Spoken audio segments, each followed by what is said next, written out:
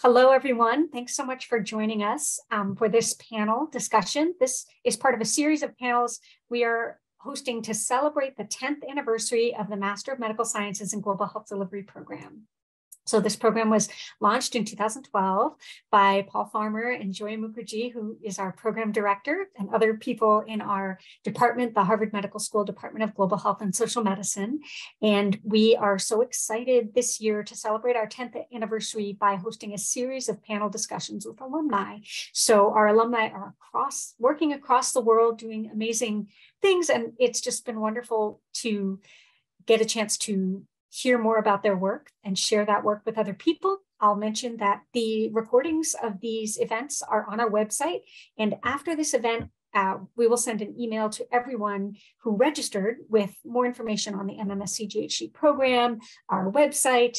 Um, if you're interested in applying to the program, there will be information about that. And then if you sign up on our email list, we'll send you reminders for our upcoming events. Our next event will be January 20th um, and that will be at 10 a.m. Eastern. So most of these are at 8 a.m. Eastern, but that will be at 10 a.m. Eastern, and that will be on the COVID 19 response. But today I'm going to now turn this over to Joia Mukherjee, our program director. And again, thanks so much for joining us. Great. Uh, welcome, everybody. And I'm always, always so happy to see our alumni on the the screen. Sometimes I get to see you all in person. Uh, welcome to Dr. Manami Uechi, Theogene uh, and Dr. Ana Cristina Sedas. They are all graduates of our program who you'll hear from.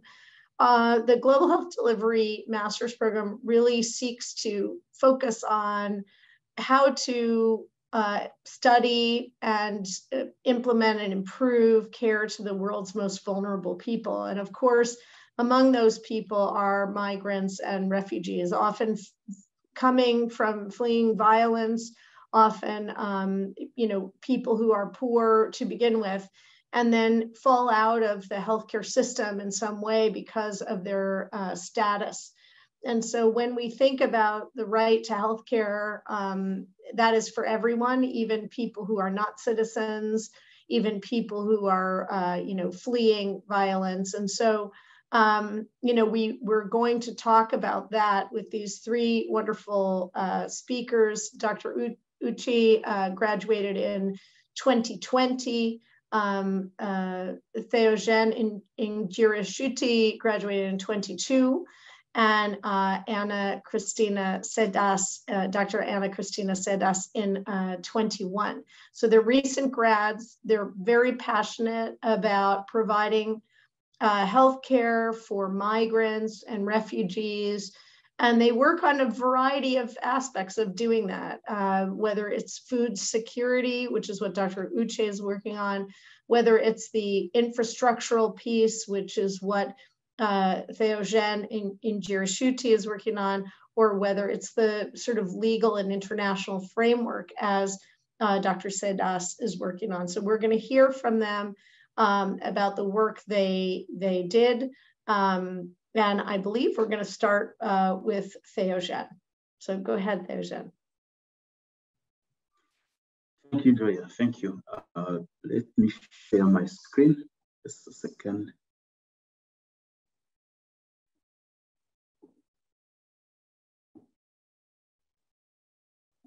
Yes, we see we see your screen. Yeah. Okay, thank you. Thank you so much. Uh, oh, do you want to go to so, presenter mode or you can click slide? There, now we see. Great, thank you. Thank you. Yeah, so uh, thank you so much, Joia. Uh, it's a great pleasure being here and uh, to talk about uh, what I did uh, recently on my thesis. So uh, I got interested to do my research on refugee because I have been a refugee and I worked with uh, refugees. So I know by experience that refugees' human rights are uh, usually, if not always, uh, violated. And uh, as we know, at the beginning of the pandemic, countries were just focusing on themselves and uh, there wasn't enough advocacy for refugees while they were uh, disproportionately affected by this pandemic. And so given my experience and given uh, what I've been observing, I really believe that uh, to be a refugee is to be violated and that it is our duty and obligation to restore the dignity of refugees. And so uh, my research was really to explore the facilitators and barriers to COVID containment policies among citizens and refugees to be able to draw uh, some policy recommendations for future pandemic containment. And I did my research in, in Rwanda, in slum-like areas, and uh, in refugee camps. And as you can see, uh, the camps are really, uh, on, on, as you can see on the picture just here, uh, the camps are really overcrowded, overcrowded and the infrastructure is not appropriate to for the implementation of the prevention uh, protocols and, uh, and, and, policies. To give uh, a background of the origin of refugees uh, in Africa, as we know, uh, the pre-colonial Africa did not have uh, boundaries people moved freely and their movements were not uh, refugee movements as we know now. However, with uh, Berlin Conference, the European superpowers divided the continent amongst themselves and imposed borders. As a result, people uh, of different cultures and traditions were lumped together or people who share a lot in common were put in different countries. And these are factors prone to causing conflicts and war, as we, uh, as we see and hear in the eastern part of Congo. And so the refugees, uh, the Congolese refugees I worked with fled their country because of uh, different wars, but mainly uh, the 1996 Congo War to remove Mobutu, and uh, the 1998 uh, Great War. It was termed Great War because of so many people who were involved. And uh, um, others are still coming in Rwanda because of the uh, ongoing uh, conflicts we know between the government and uh, the M23 um, armed group. So it's really uh, absurd that a particular event, this Berlin conference, which happened in the interest of the colonial powers, that it is really still shaping, uh, it has shaped the past of our continent, and it is shaping the present of our continent, causing millions of deaths and thousands uh, to flee their countries. Uh, we know Rwanda as a densely populated country with uh, a growing um, uh, GDP per capita. And uh, the refugees that I worked with live in overcrowded environment, which is really very, where it is really very difficult to control any outbreak. And so whenever I was working, uh, working in this uh, particular camp, I could see that controlling anyone from his uh, place where he was really very impossible and controlling any disease could be very, very difficult.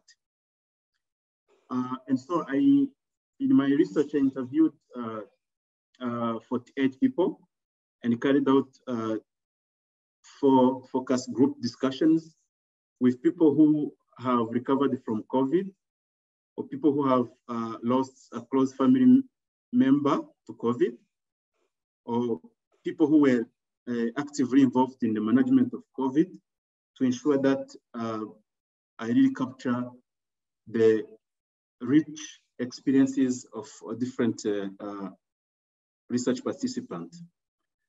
And so in our research, we found out that COVID containment was facilitated by uh, a number of things.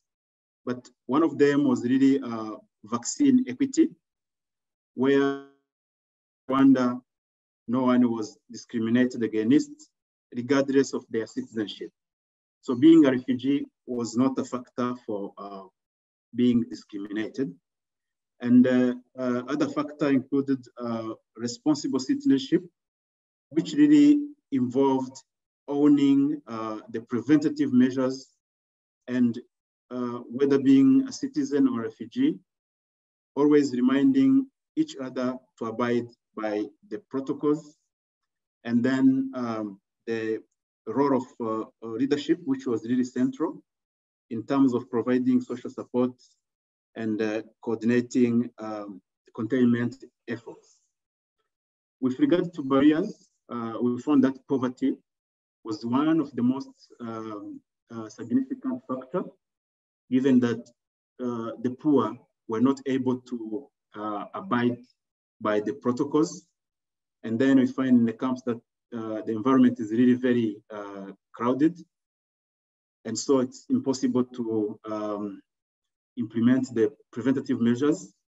Then we had the, uh, some dose of uh, COVID denialism, people who never believed and, or accepted that COVID was really uh, a reality. And then um, the fact that the uh, COVID-19 vaccines had um, foreign origin. So against uh, my assumptions at the beginning that refugees would really suffer disproportionately, I found out that uh, in the case of Rwanda, they were not discriminated uh, based on their citizenship.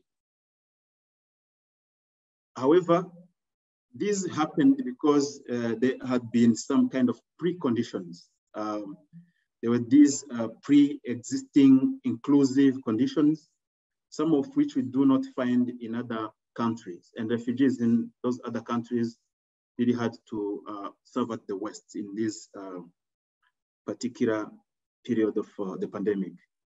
And so uh, I believe that inclusion beyond citizenship is really key to promoting the health of refugees and uh, migrants. However, despite that, we found uh, this kind of inclusivity and no discrimination in Rwanda. We also found that uh, the most vulnerable among citizens were exposed to extra social and economic uh, hazards. And uh, this really uh, was an indication that no good policy is good for everyone and that we need always go back and see who we are leaving behind. And I believe this is the core for, uh, for equity.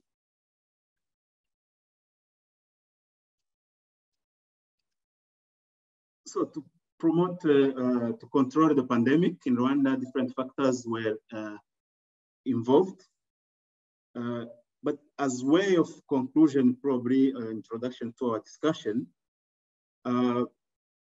if we want to promote the health of refugees and citizens um, in this particular environment, I believe that it is very important that we create uh, egalitarian policy foundations in order to form uh, resilient and equitable and unified communities that will be able to handle uh, different crises.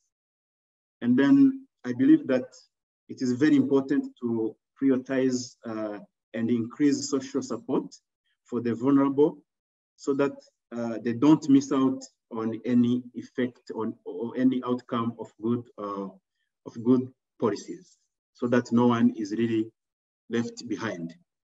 And lastly, I believe that uh, we really need to invest in local solutions. Uh, and here I'm mainly focusing on um, investing in vaccine manufacturing to ensure that uh, uh, we have enough of the vaccine that we want or enough of other uh, medicine that we, we, we, want.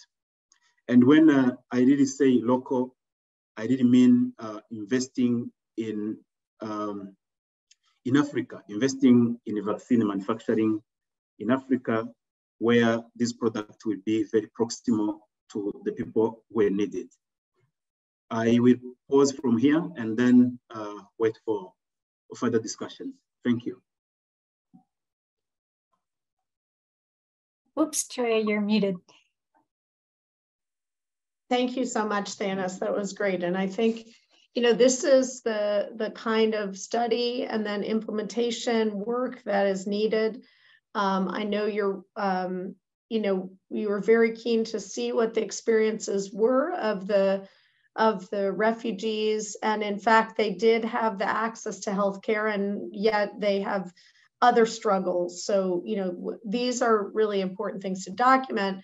But, you know, really kudos to the government uh, of Rwanda for for trying to equalize the access to the vaccine. And, you know, obviously there's so much work to do uh, with all vulnerable people. So thank you for that.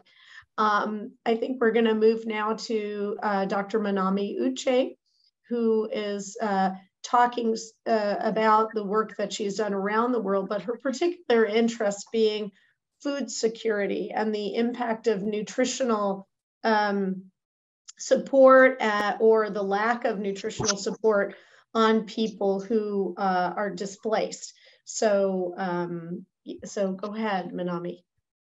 Great, thank you. Uh, thank you, Joey. Good morning, uh, good afternoon, and good evening to you all. Um, thank you so much, Joia, for the kind introduction. Uh, and thanks also to Christina and Bailey for organizing this wonderful opportunity to virtually gather today. Um, so today I will briefly share some of um, learning experiences I had um, while studying at Harvard and also my insights into the health of refugees, migrants, and uh, other displaced populations in the world based on my work in the past, uh, working with these groups of people who live in extraordinarily uh, challenging circumstances. Uh, so I, I, before I begin, I just wanted to note that my presentation will include um, the theme of violence, namely uh, structural and, and different forms of structural and, and direct violence. And I will not show any um, violent images or visual images, um, but I just, I'm aware that people do have uh, various different um, lived experiences and words. Um, we know that sometimes words are powerful enough to impact us in profound ways. So I just wanted to give a heads up. So uh, as for my master's thesis, my field work and research uh, took place in the Northern Navajo Nation, and my research explored the long-term effect impacts of the fresh pr produce prescription program on the childhood obesity in the Indian nation. And because my, as Joia said, um, because my um, background is in nutrition and medicine, my academic interests have long been at the intersection of food insecurity, uh, nutrition, malnutrition, and marginalization, um, and health disparities, uh, particularly uh, among indigenous people and other vulnerable uh, populations, including refugees um, and asylum seekers, etc. So this is a map. Uh, Navajo Nation is the largest. Uh, I'm sorry to cut in. Um, I don't. We're not seeing your slides. Can you share your slides? Oh, yeah. Thanks. Did I share? Yes, please. Oh, you didn't share yet. Please. Oh, sorry. That's it's okay. Why. Is it on? Yes, Do you see it? Now we yep, there it yes. is. Okay. Thank you. Okay. But so put on presentation was... mode. Great. Sorry about that. Um, That's okay. So that was my first, um, first slide, second, and this was the map. Uh, Navajo Nation is the largest Indian nation in the in the United States, and it's located in the um, uh, four corners of the American Southwest. And if you've ever been a student at the HMS Department of Global Health and Social Medicine, you know that you cannot graduate without learning the importance of applying uh, insights from um, anthropology, ethnography, uh, history, sociology, and political economy um, to develop a transformative approach um, to the most urgent global uh, problems in global health. And so for me, uh, learning uh, the history of Navajo Nation, uh, as well as the ind indigenous history of peoples in America was absolutely a necessary process for me to, um, to better understand the disproportionately uh, high rates of poverty and food insecure households and um, the alarmingly high prevalence of nutrition related uh, non-communicable diseases, both in adults and children um, in Navajo Nation. So until the 1800s, um, the Diné people, um, Navajo people in, in their na native language, they are called Diné, and they sustain themselves by acquiring food through a mixture of uh, hunting, gathering, farming, and herding and then the US colonizers, American settlers uh, entered and invaded their native lands and the US conquest and the genocide of indigenous people began under the name of uh, the premise of the Manifest Destiny. And one of the most notable and tragic events in the very long history of Navajo Nation is uh, Hwéeldi, um, uh, also commonly known as the Long Walk, uh, which took place in 1864. And this was uh, when the US Army rounded up um, the surviving 8,000 Diné people who were captured and tortured. And they were marched um, for 300 miles. And then if they survived the, the long walk, they were imprisoned and in the military concentration camp uh, in Fort, uh, Fort Sumner, New Mexico. And because of the high alkali content of the soil in Fort Sumner, New Mexico, uh, no food plants could be adequately uh, farmed and cultivated um, on the site of incarceration. And as a result, um, thousands of thousands of Diné died due to starvation and diseases, um, many infectious diseases uh, during for long four long uh, years of inhuman uh, torture and incarceration. So uh, you may be wondering why I'm talking about the history of indigenous people today. Um, the, the first part of my master's thesis opens with a discussion of the Diné history of deracination. And I remember during one of the very first meetings with Joia, uh, shortly after I first arrived in Boston, uh, we discussed what uh, deracination means in the context of indigenous people's uh, history. And it really uh, helped me broaden my intellectual curiosity and also the way um, helped develop the way I approach my uh, research analysis.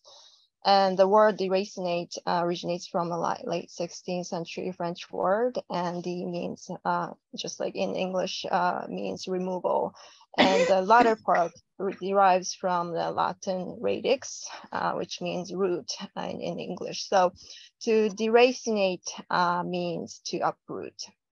And to deracinate indigenous people means uh, to physically remove or separate them from their native land.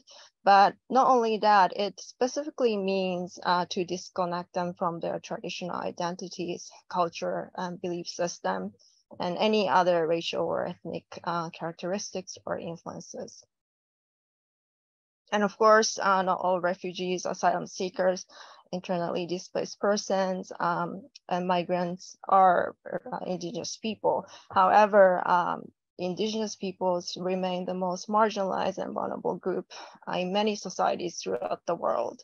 And therefore, they are prone to become refugees and asylum seekers and, and, um, and often forcibly displaced for various reasons. And this the, the concept of deracination, I believe, is really important aspect when we approach healthcare for refugees and other uh, displaced people in the world. Um, just like plants and other living uh, beings, human require, we humans require adequate water, uh, light, nutritious food, and, and balanced diet and also safe and uh, comfortable environment in order not just to survive, but to thrive.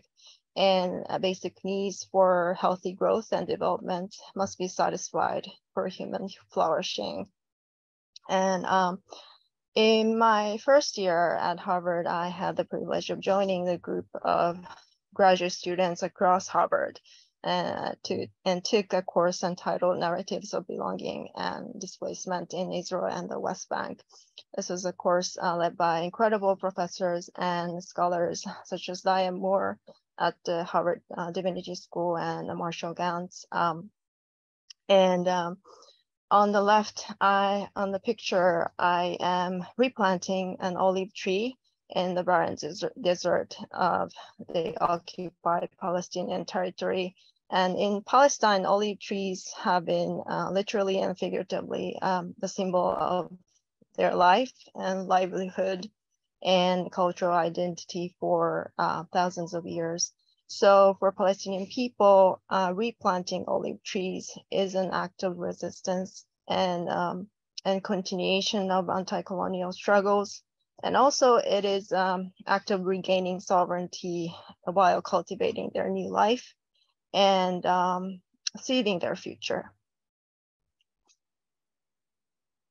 And how do people become displaced from their native land? Um, there are many, many factors and reasons involved, um, but in most cases, as uh, most of you know, uh, they are uprooted from their homeland uh, because of various forms of violence. And in the context of indigenous history and today's food insecurity and, and health disparities and inequity, I am in my thesis, I draw upon the um, nutritional colonialism uh, as an example of cultural uh, structural and ultimately uh, direct violence um, against indigenous people. And these uh, these um, terms of violence, different kinds of violences are um, are studied and, and discussed by the scholar uh, Johan Galtung. And according to Johan Galtung, uh, violence can be understood as avoidable insults to, um, to basic human needs, and violence is needs deprivation. And of course, uh, many of you are familiar with the social theories our dear uh, teacher Paul Farmer taught us. And also as Professor Arthur Kleinman teaches us, um, the sufferings uh, caused by violence are often inherently um, interpersonal and um, also intergenerational, especially in cases of refugees, asylum seekers, uh, migrants, and other forcibly displaced people. So all of us, uh, regardless of who we are and where we come from, we all have these levels of needs that must be met, uh, satisfied in order to thrive and flourish. And when these needs, survival needs, well-being needs, identity needs, freedom needs, um, these when these needs are deprived and insulted, um, and human rights uh, are infringed upon, uh, we experience violence.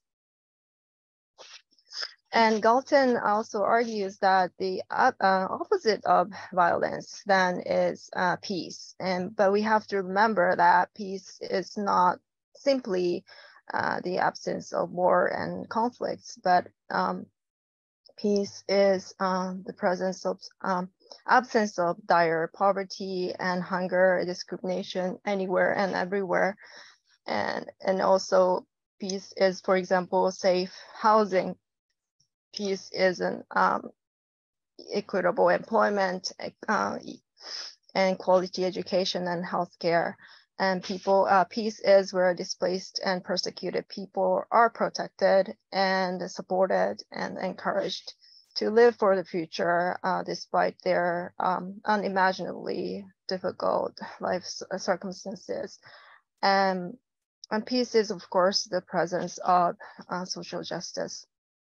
So for so healthcare for refugees, um, migrants, and all displaced population is not only delivering um, medical care uh, or admi administering medicine or treating injuries or um, alleviating hunger or providing shelters, but um, their health encompasses the system that helps support um, every level of their needs.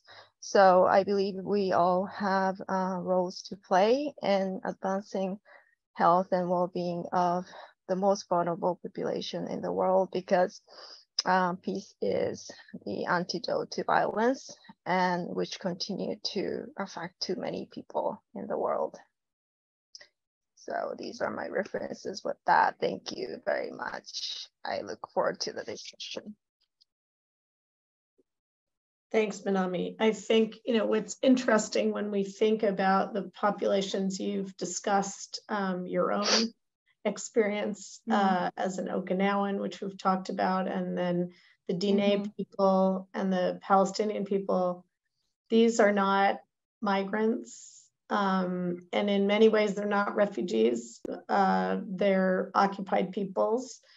And I think that is really a, a, an important aspect of what we're talking about is the people who have, for you know, whatever reason, often a political reason, structural violence, um, they have become refugees in their own land, essentially. And so, um, you know, really appreciate those comments. And, you know, we've talked a lot about that word, deracination, a word I. find very important in thinking about global health because when you rob people of identity, of homeland, um, you know, of culture, it's uh, you know it, it results in a lot of illnesses um, that so it is really one of these social determinants of health is i think how removed people are from their their sense of community and, and culture and well-being. So um, we will move to dr sedas now. Ana chris you've been so passionate about this uh, work um, in your home country of mexico but around the world so why don't you share with us your thinking Thank you. Thank you ever so much. Um, I also wanted to compliment the work that Theo and Manami have been doing. Um, my my work, something that is different from what I will present, is that I unfortunately didn't have an opportunity to do my thesis in the field given the pandemic. So I, I did have that opportunity to, to weave in what we saw um, within our courses and and just dive deep into what is migration and health. What is it that we are studying? Um, and, and what is the field to understand a bit of different perspectives? So I hope that what I am about to present uh, really reflects the hard work uh, that, that Theo and Manami have been conducted in the field to complement from a, a more of a global perspective. Um, so I will, will just start um, sharing my screen here and let me know if you're able to see it. Um, so I will start presenting um, a biosocial analysis of uh, migration and health. I am just going to start a quick timer because I know myself. Um, and I think it's important to, to allow some time to, to speak. Um, so first I would like to uh, thank the opportunity for, for uh, allowing me to speak today. I, I, I think that um, having or, or working at a global level sometimes um, takes us away from the from the ground and it has been very humbling to to listen to um, alumni um, and the work that they're doing uh, in the field and then seeing it from a global perspective and i just want to thank also and, and reflect from my thesis committee that this is a reflection of the work uh, that we did as well as the mmsc program uh, and ghdi that really weaved in everything that i learned and gave it words and meaning um, into what I'm doing. Um, so, despite being on the move for over 200,000 years, the right to access healthcare in a continuous form remains a challenge. Um, we, we saw through the experience of Theo and Manami that access to healthcare is not something that is given, despite being a human right. It is something that, in a way, as a migrant, it has to be earned by hard labor, by displacement, by war, by something that puts you in a, in a difficult situation. But it's not that. It's a human right that everyone is born with. So when, when discussing what is migration and health, we go and we dive deep into what has been the current response of COVID 19 and something that we discovered during COVID 19 is that an individual, everyone is a potential refugee and migrant. Everyone here has the potential of going through this extreme experience or even this unfortunate um, or fortunate experience that changes their health outcomes. And this is what I will be discussing in a little bit. So during our program, we discussed a lot that on the social determinants of health. Something that I would really like to talk is how migration, while I was in the program, it it became seen in my mental framework. And then I started to continuously see in the literature that migration itself is a social determinant of health.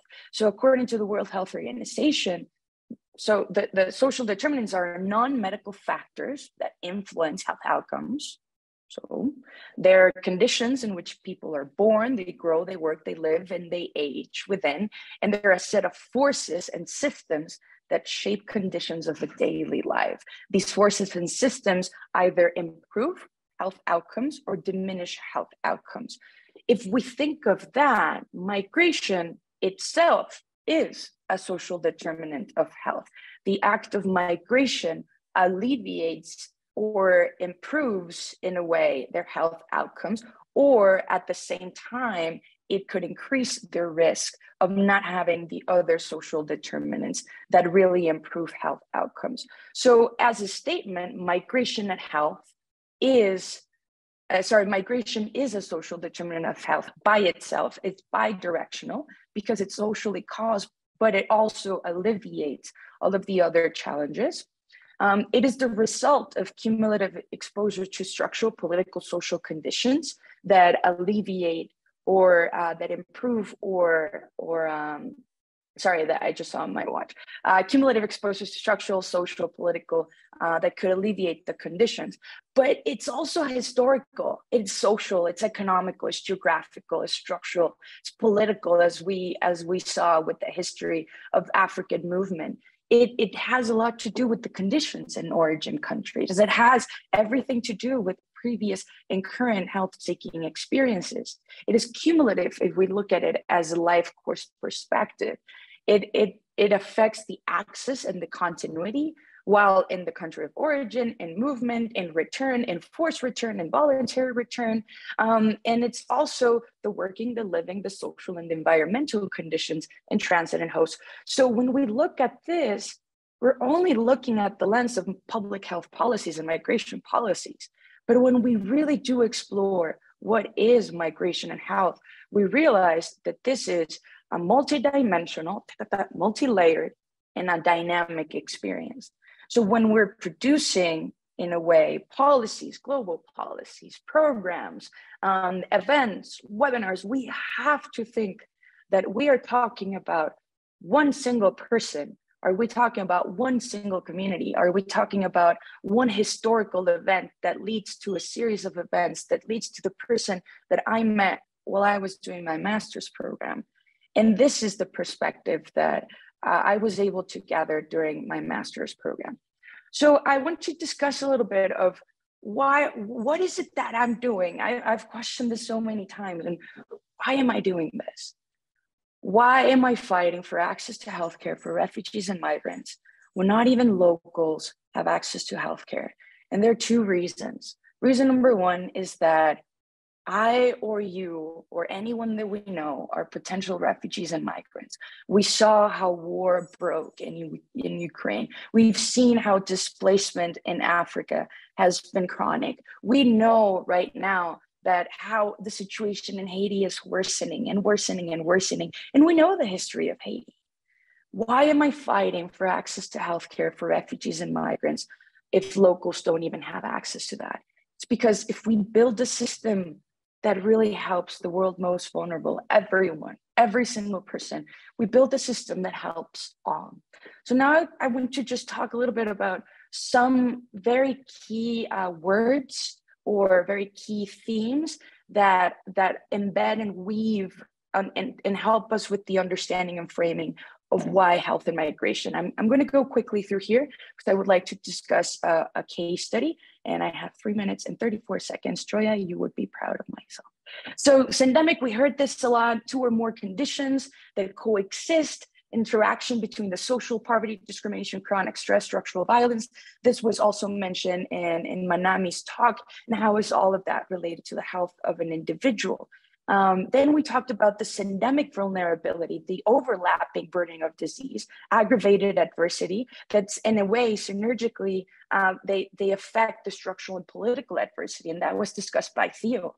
Um, we have the structural vulnerability and how a class-based economic exploitation in increases the cultural, uh, sorry, increased by cultural, gender, sexual, racialized discrimination, they increase the risk of preventable harm, illness, and death. And we now talk about structural violence. This, all of this is embedded within our institutions, the ones we work with, the ones we work for, the ones we we are part of. We are part of that structural violence. Structural because it's embedded within society and it's violent because it harms people. And we need to be aware of this because we are part of the policies. We're part of the movements. We're part of the research that creates change and advances policies to protect respect and fulfill the right to health of all people that are reflected in all of our work. So um, I just want to go quickly and, and highlight several very main characteristic points of view. This is a telegram found in 19, uh, 1819, I think. Um, and, and, it's, and it's how we frame migrants. There's a telegram saying dirty, hundreds of dirty, lousy, destitute Mexican migrants. They're bringing in diseases, blah, blah, and let's call on quarantine. And after this, there was this monumental experience of human rights, the first recognition that all people, all people had rights. They had the right to access healthcare. However, migrants were not explicitly included. What does it take to explicitly include refugees and migrants? And that's my daily struggle. And then they're like 1966, okay, so you know, migrants have access to healthcare, but it wasn't explicitly included. Then it was included in the General Comment Act. They, they kind of clarified it, okay, you know, migrants too, because of the MDGs, because if you have people, your machinery, if they're healthy, they will produce a healthy economy. And then they shift to that with the SDGs. And now migration is part and cross-cutting across 15 SDGs, but only mentioned once and only mention in the root causes of migration, but it does not take into account the structural, the political, the geographical forces that drive migration. And migration is a bidirectional determinant of health. And we also have it embedded within global compacts and compromise. So, despite all of this happening, why is it that access to healthcare remains a conversation? Why is it that we're investing all of our energy in providing the basic right to access healthcare? So, what is the difference between this and this? What has changed after 75 years? We still have the same narrative migrants are a problem to be dealt with, rather than migrants are people. We continue to other an individual that could be ourselves, that could be our family. So, going back here um, to statistics, that people are not statistics. I'm eh, I'm going to wrap up here quickly. So people are not statistics. And this is something that was very important to understand within our master program is that they showed us how to transform statistics into people to understand that that the case of Avelino is the reflection of all of these numbers accumulated that Avelino is not one of 50,000 Avelino is a unique story and the reflection of the pandemic and what happened is is the reflection of all of the accumulated stories there's one word that I would like to for you to keep in mind, and it's funny that I'm mentioning this, but it's called sonder. Sonder is the word that englobes the realization that everyone, a passerby, is experiencing a life as complex as your own. And when you realize that, when you realize that one of those statistics is a person, you realize that you need to fight for that person and that there are 50,000 people monthly experiencing that. And I'm just going to swiftly go through the case of Avelino. Um, if I have time, please, Joia, Christina, please do interrupt me. I'm passionate, so I already know that my time's up. So I'm just gonna, I'm just gonna, I'm just gonna push some buttons here to see if I have some time. So if I have a green light, yeah, if you do it quickly, uh, uh, yeah, Ana, sounds good. Yeah. So um, my thesis ended up being this. So I, I took all the information I knew, I used my ADHD superpowers and I just read everything. And then the master's program really gave some structure into what I was understanding and learning. So this is the case of Avelino. So Avelino, Avelino was a, this is a case study that I, I found from Partners in Health um, uh, in sister organization in Mexico. And they, they discussed the story of this individual, Avelino, that was, um, is I hope he still is, um, a Guatemalan individual that, that was forced to migrate to Mexico. So after Avelino's death of, of his family, he was left alone. He had no access to social or health protection. Avelino, when he was 14 in 2002, he became part of the 32% of children in Guatemala that had not completed primary school and was forced uh, to work the lands of the hacendarios. That's where we go back to colonial history. By the age of 20, one point, uh, Avelino became part of the 1.4 million international migrants, that labor migrants that had to go between Guatemala and Mexico. By the age of, uh, by the age I think of in 2015, he became part of that 13.10% of remittance that we that Guatemala received in, in that same year. So Avelino's life was to provide direct money to increase the GDP. So therefore, if Avelino's healthy, our remittance increase. However, by the age of 20, I can't see because of, of the of the slides, but Avelino contributed to uh, majorly to, to the economy. So what happens to Avelino? Avelino got sick. He had been sick for a very long time. He had a cough, and it's a normal cough. You know, it's okay to cough, and it is structural, and it is an everyday violence that he had normalized his cough. He had no money. He had no opportunity to change his situation, and he had to work. So Avelino really tried to access healthcare. He had to travel for eight hours to, to go to a clinic. He had no money. He had to pay out of pocket expense despite having free access to healthcare in the country, in Mexico. He had no access to labs. He had no social networks. And he really didn't know what was going on. He heard something about the pandemic and, and he didn't want to go to a hospital. They said people were killed in the hospital and I did not want to die. So Avelino, despite all of the barriers, he continued to try to approach healthcare, but the, the system was not prepared to receive an individual that has so much history behind. And that's when uh, met Partners in Health. Avelino was super sick. He was in bed and he, he knew that he was going to die. And at that moment, he saw a passerby that ended up being a pasante from Compañeros en Salud Mexico and at that moment, Avelino was taken immediately to access healthcare in a hospital in, in Jaltenango. Marta Arrieta, uh, an alumni that also took this program, she said, whatever it was, it can't be COVID. We, we don't know a lot about COVID, but this ain't COVID. This person has been coughing for a long time. They, they were not, they didn't have access to any sort of testing other than a chest x-ray, and they found out that he had tuberculosis. However, there was no access to medication. Um, fortunately enough for Avelino, but unfortunately for another person, Avelino was able to receive the medication from another person that was lost to follow up.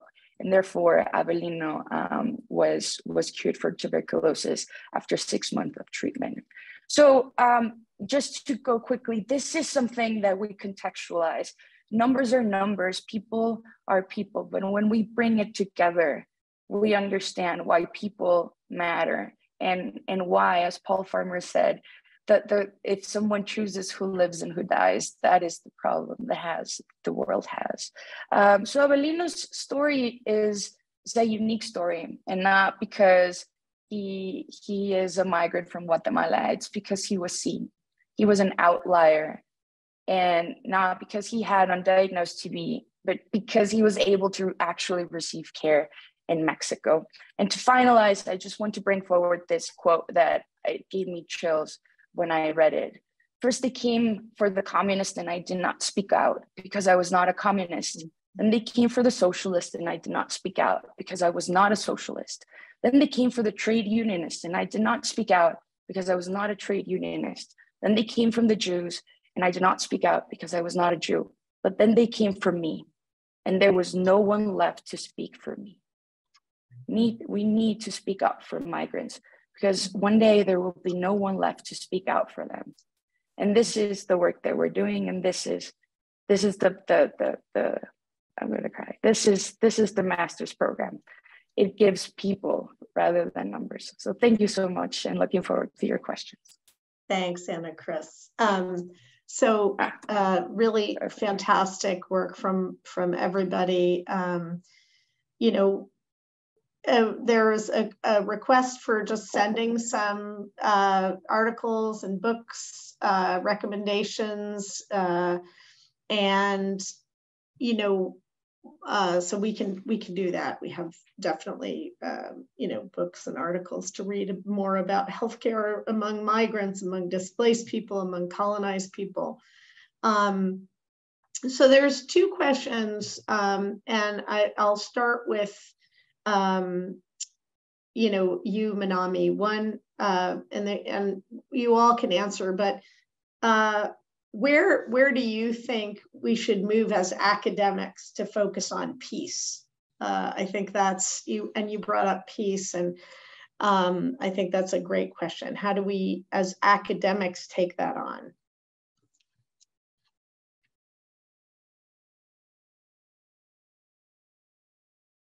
Okay, um, I unmuted. Great. Yeah. Uh, thank you for the question. That is uh, really difficult question, I guess. Um, can is there a place I can read or no? That's the question. Oh, it's um, in the Q&A. You know, if you look in the questions, um, if you see Q&A at the bottom. Yeah, the Q&A, it's over in the Q&A, it's the bottom question. And I'm just kind of summarizing it, uh, Manami, so, and we Oh, okay, okay. Okay. So really just, you know, where do you think we start as mm-hmm. global health people to move toward peace? Like what are what are some elements of how you think framing the work around peace? Yeah, I think um, having worked um, for asylum seekers uh, in the past few years and and also refugees and i think it really goes back to the core concept that we learned uh, uh, in the program our master's program that uh, really health is um, as i as i mentioned in the presentation uh, health is not just um, medical care right? Um, we learn we learned from Paul Farmer that uh, we need five S's everywhere, no matter uh, where people are. And say um, what those are, are, not me. Five S's are yeah. five uh, staff, stuff, space, systems, and support. And as I was uh, making uh, today's, uh, preparing today's uh, presentation, I really thought about that. Like, yeah, like really, yes, we are um, talking about refugees and the most vulnerable people who are in a very uh, special circumstances. But uh, when it comes down to that, like really, when, when we think about our needs, what makes us healthy and happy and and and find meanings in our lives. Uh, the same goes to uh, people we serve, right? And as uh, Ana said, Ana Chris said that too. And so um, I think it's really important to focus on social medicine aspect of in, in clinical spaces as well. And um, um, really um, like housing is health, um, transportation is health, right? Um, communication to the people need our health. So everything. Um, so I think we as healthcare professionals really have to work together to build the um, system and infrastructures and and collaborate together. We can't do it alone, but um, Joia, you always tell, teach us that, that we have to work together with people who share visions and and the same goals. And um, yeah, I don't know if that answers the question. No, that's but. I think that's a great point, Manami. That's that um, you know because I think one of the aspects that you bring up with the five S's is that there is a material resourcing of peace. Mm-hmm. You can't just talk about peace. And I, I think this is what we're seeing with, with a lot of the gang violence and other things in Haiti right. when unemployment is 80%, when people don't have basic food security, when, you know, I mean, so there right. is a material resourcing of peace mm-hmm. and a material resourcing of support for migrants. And maybe I'll turn it to you, Theo. Um, you know, when you think about what you saw in Rwanda in terms of people getting access to care, how what did you how did you think the government was doing that? How was how was um, you know how was the thinking about that uh, that you sort of experienced?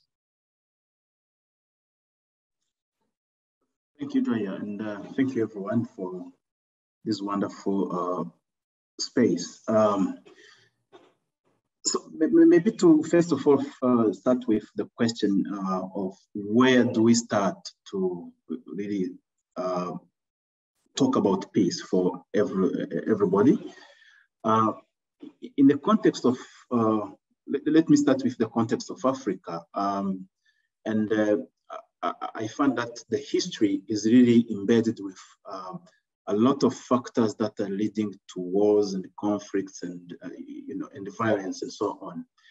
And so um, I think we we really need to re-evaluate our history and be able to shape uh, a future that we we want.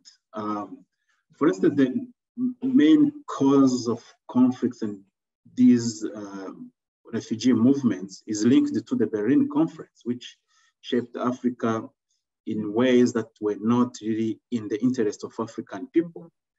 And so now that we, uh, we, we, are experiencing wars in the eastern part of Congo, th these wars are linked to that. And uh, how can we, uh, how can we shape that? How, what can we do to make sure that these borders between countries, the borders that are becoming the reason why we have refugees actually become redundant and have no, uh, no, no, impact. Um, I was speaking with a few people and we were like, uh, we have never heard of a Belgian refugee in France, but we are always hearing of Congolese refugees in Rwanda, and we are both neighbors. So uh, how can we make sure that these borders are not really uh, uh uh, a dividing factor, but rather an opportunity for us to grow together and source peace. This will be in, yeah. in, in, evaluating our history.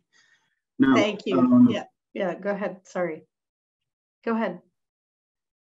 Okay, I can get excited. then. I know it, it's great, and we'll we'll go to Ana Chris quickly, and then we're gonna have to wrap up. So maybe I'll cut you off there, Theo. I mean, I think that's right. Go back to history you can't understand where we are. So I would say the question to all scholars, right, is you can't understand today without understanding where we we were. And so there is a reparatory strategy that we have to think about, whether it's reparations per se with a capital R or some reparatory strategy. And one of the things I think is happened, at least with this situation in Rwanda, is the idea that we, you know, we are all brothers. We share a common language, we share a common history. And so, you know, we're going to extend our health insurance system to you. So I think, um, you know, that that fellowship uh, is also, you know, acknowledging the shared history. Um, Ana Chris, you want to just say something about that for the Guatemala-Mexico divide and, um, you know, which you were studying with Avelino's case? Yeah, um, I, I also found a lot of um, so first thank you for for this. And Theo if, if you have if you want to complete your idea I'm happy to give you my time because I took more time from from the rest of the people. So I just wanted to mention that if, if you if you want to complete your idea. Go ahead please go ahead. Okay go so ahead. I, I I wanted to uh, comment on that. So there's this question of do we have this moral obligation? Is there a moral obligation as countries to provide healthcare? For instance, in the case of Mexico and Guatemala, or if we go back to the entire history of foreign interventions in Central America, what is the US moral obligation to uh, providing healthcare to refugees and migrants that were actually the, the, the result of years of foreign interventions, going back to uh, the point from, from Theo. So in a way, if if I look at it at this global perspective, from I'm going to go global, regional, and then local. So at a global perspective, there's not an obligation. There's actually a written document and a signed agreement that that countries and regions that are, are state members are are going to provide access to healthcare because people are uh, have rights, but mostly because there's this target that we need to achieve by the year 2030, which is cross-cutting and migration is cross-cutting. So that's one sense, you know? So it, when we read all of the policies documents, like, oh, you know, well, in line with the X document, in line with X document. So in theory, it's it's it, it is going to happen. In theory, a person has access to healthcare because of that transition. Um, we see, for instance, the situation in, in Europe with the war, um, that immediately Ukrainians were inserted within the healthcare system. But we saw how there was an exclusion uh, or the othering of the other refugees and migrants. We saw that, you know, if you were, there were double or triple refugees. You had Syrian refugees in or, or refugees from Syria in Ukraine then they were now trying to be refugees in Romania. And, and, and separate systems were created. We see that in the US Mexico border with separate systems that are being created. So that's at a global level. Who gets to choose who lives and who dies, who has access to healthcare and who doesn't? So, at a global level, in theory, everyone has um, not this moral obligation, but this, this agreement that is signed. Now, at a regional level, dynamics are different, funding is different, and needs are, in a way, put together and said, all people need this. So let's create a vertical program and then just perhaps just focus on vertical approaches, either biomedical. And we saw it with COVID 19 vaccines. There was a lot of advocacy for access to COVID 19 vaccines for migrants in X, Y, and Z place. And but or social interventions. So let's just give all the money to wash. And then you had billions of dollars in, in, in hand and sanitizing uh, experiences. So we, we saw how regional the approaches are. But now we see in at a country level when things are extremely competitive, where there's the socialization of scarcity, when we are forced to say, okay, we only have uh, we, we only have this medication. Abelino needs this medication he's a Guatemalan migrant, but we're not looking at his status at this moment because we have medication available that will expire and this person has mm. access to this right now. But this other person missed this medication, and that means that this other person will die of tuberculosis.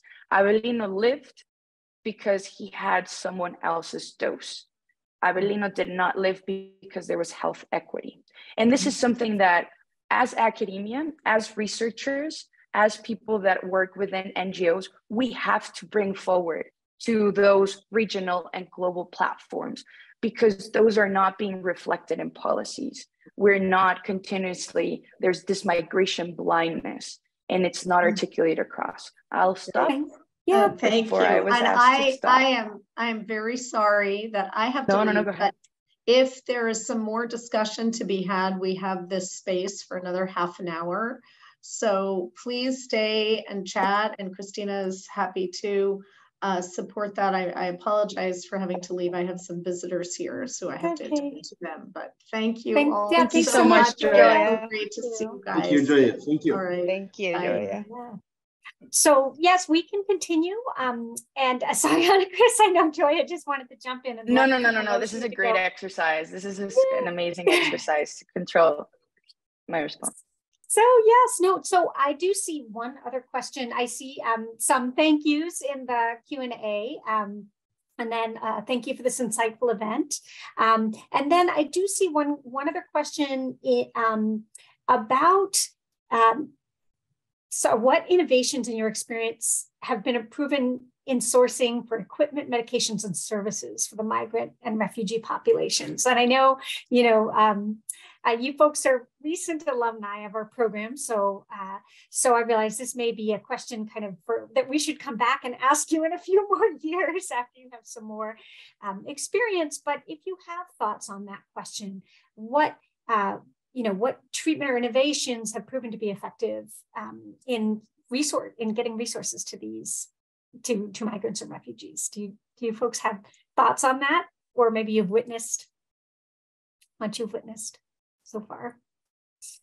Christina, could you repeat the question? Sorry, I, I was answering um, in the That's chat okay. box. So here it's um it's uh so this person is it says I find it very difficult to get funding or resources for migrants um, from both the government sectors and public sectors. Um, so because there's often preferential treatment for citizens and of course we saw rwanda's different um, we saw that case um, and so, where would you suggest we seek funding or support for healthcare and pursuit of treatment, or what innovations, in your experience, have proven to be very effective in sourcing for equipment, medications, and services for migrant and refugee populations? That's the full question. so, if, if, if I could add some information at a, a global regional level, so um, you're absolutely right. Um, I don't know the name of the person that. Pat, um, Pat. Ah, Pat. Um, so Pat, you're absolutely right. There's there's not a lot of funding. Why? Because there's it, it costs money. Mm-hmm. And unfortunately, their their their national budgets for accounting for X amount of people, and that was one of the points that migration policies don't consider the health of migrants, and health policies don't consider that that there will be an increase in population. In in in, in fact, in 2050, we, we will increase the, the global population movement uh, exponentially. So there's systems are not prepared for that. So uh, staff safe space systems. So unfortunately, that's one point. Um, but there are some resources. Um, specifically, for instance, if you're looking at population in, unfortunately, the money is in Europe. So follow the money. Hmm. Where, the, where, where is the money? A lot of funding that I've seen is uh, from European centers that are conducting research that specifically support uh, refugees and migrants in other regions because of their alliance with member states, etc. Um, so I would, for instance, I know that NIH has some funding. I know that Germany, as as a member state, also has some funding uh, in terms of that. Now, for service, for actual services delivery or service delivery, I do not know specifically. Perhaps my colleagues could could answer that. Um, but I do know that if you link it with research, it's easier um, to be able to to have a grant and link it with health delivery. That's one. And two, if you link this this health delivery and how this support improves the life of people, you're able to embed within the health delivery strategy uh, a way of evaluating how and what is the impact because funders really need that. They need impact they need numbers they need um, accounts. So i would highly encourage to think about this hybrid. Yes they give you material they give you funding for material.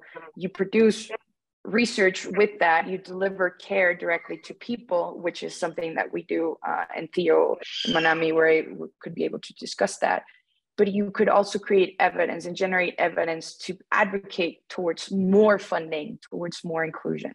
That I, if I could help in that perspective um, at a global regional level, um, but I'm sure that my colleagues have have very like much more insightful information to share. Thank you, Nova. Yeah. Thank you. Yeah. Um, I was actually thinking that uh, money uh, is not the problem. Money is not the major problem because I believe that the major problem is the lack of uh, creativity, the lack of initiative for, from different uh, leaders, and the lack of political will to, uh, to integrate refugees within the existing system. So uh, if uh, people really advocate, strongly advocate for the integration of these refugees and migrants within the, uh, their health system, their local health systems, then where the money comes from for, for, for the local people, then that will be the source for uh, the money to source the medication and uh, equipments for refugees. They will benefit from the, the, the, the local system.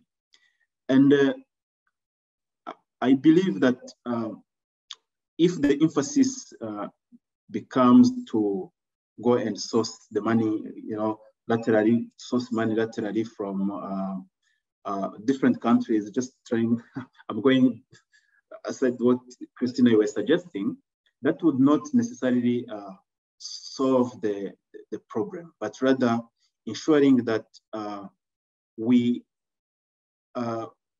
leaders or we as leaders, we develop that kind of will and desire to integrate refugees within our own system, then we'll be able to provide for their needs. Otherwise, there will always be that level of dependency and uh, we have only um, um, seasonal changes rather than having a kind of uh, sustainable solution to, to the problem. I'm not sure if I responded to your question, but I feel like that's the direction that we, we should go. Thank you. Thank, thank you so much. Um, Manami, do you want to answer this or, as well or?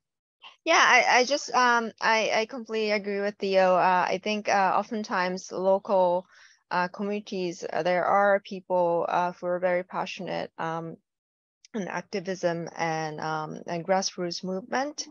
Um, so in terms of uh, the size of resources and funding that might be uh, limited and not as uh, as great as um, the things that, for instance, government can provide. But um, once again, like Theo said, um, as long as there is a will, there are ways to uh, move things forward. And so um, finding uh, groups of people who uh, share common visions and goals in your community and, and working um, from you know bottom top and then you know collaborating and that might be a great place to start. And and also some uh, sometimes I, I don't know the context in which the the the person who asked the question is, is in, but oftentimes the faith-based organizations um, provide um, fundings and some services, social services um, in, in case of the US big cities, uh, there are many churches, church-based organizations provide shelters and food banks and, and diaper uh, banks, etc. So um, that comes to my mind. Thanks. Wonderful. Thank you so much. Um, at this point, we don't have any more open questions. Um, so what I'm going to do, and someone did just ask about a recording of this session, and these sessions are recorded. These alumni panels are recorded. We'll follow up with everybody who attended this session um, with more information on um, with the website, our website, uh, more information our program, and then also where you can find those recordings. But I want to take a moment now to say thank you so much to our panelists for joining us today. We are um, so happy to get a chance to see alumni again and hear more about your work. And we really appreciate the time you took to be with us today. I also want to say thank you to the, all the participants for taking time to join us today. Again, our next panel will be on January 20th. At, it'll be at 10 a.m. Eastern, and that'll be on the COVID-19 response. And until then, we wish everyone um, wonderful uh, holidays, whichever you're celebrating, and uh, a great start to 2023.